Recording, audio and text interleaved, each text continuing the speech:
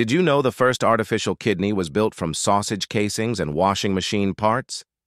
In 1943, Dr. Willem Kolff watched patients die in his Nazi-occupied hospital basement. Kidney failure meant certain death, but he knew he could save them. So he built a crude dialysis machine using household materials. Rotating drums, cellophane tubing, and beer cans became life-saving equipment. He tested it on himself first, then connected his first patient, a 67-year-old woman in complete renal failure. The medical staff watched in horror as blood pumped through washing machine parts. Then something incredible happened. The machine began filtering toxins from her blood.